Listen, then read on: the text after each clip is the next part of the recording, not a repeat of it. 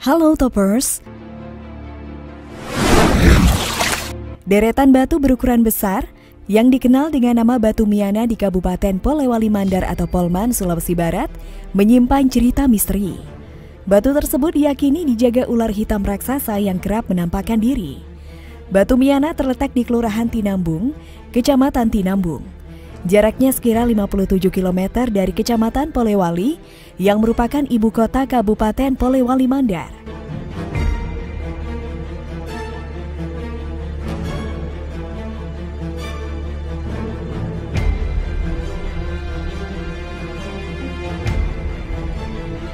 Posisi batu ini tepat berada di sisi jalan utama penghubung Kelurahan Tinambung dan Desa Tangga-Tangga. Dari arah Kelurahan Tinambung, Batu Miana berada di sisi kiri jalan. Sedangkan di sebelah kanan jalan merupakan Sungai Mandar. Dalam bahasa Mandar, kata Miana berarti melahirkan. Warga setempat percaya di kawasan batu ini kerap muncul batu-batu kecil yang dianggap sebagai anak dari deretan batu berukuran besar. Lokasi batu ini tepat berada pada jalan menikung dengan kontur sedikit mendaki. Di sekitar lokasi dipenuhi rerumputan liar yang tumbuh tinggi. Namun tidak jauh dari situ, sudah terdapat permukiman warga.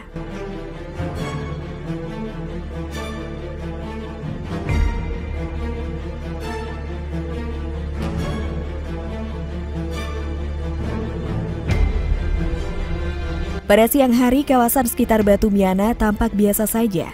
Sejumlah warga khususnya anak sekolah kerap mampir sekedar untuk beristirahat sambil bersantai di bawah pohon di dekat Batu Miana.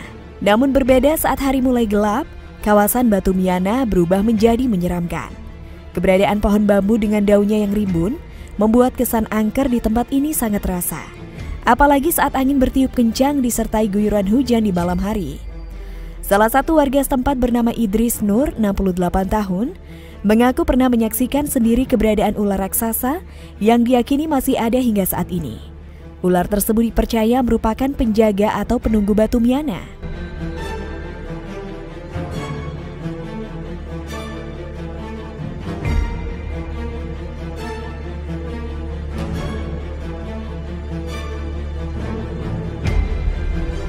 Idris pernah menjabat sebagai kepala lingkungan di wilayah kawasan Batu Miana itu.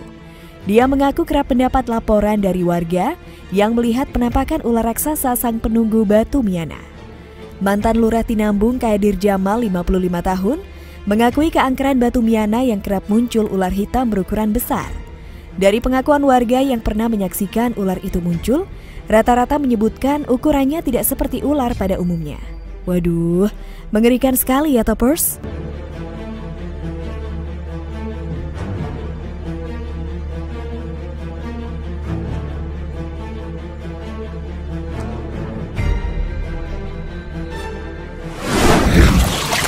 Nah Toppers, bagaimana kalau menurut kalian?